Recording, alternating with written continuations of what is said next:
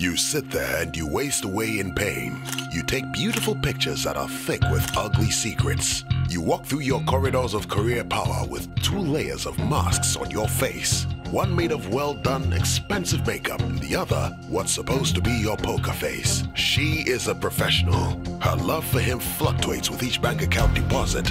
More than enough to pay for the rent, decent meals, and extravagant rides. Your very lonely existence feels cursed with the facade that has become your reality. To you, I say it's okay to hurt. To you, I say that life can exist as you imagined it and as your soul needs it to be. Sex or money, which is the highest currency?